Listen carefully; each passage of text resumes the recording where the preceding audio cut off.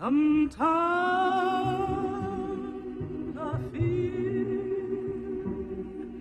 like a motherless child. Sometimes I feel like a motherless child. Sometimes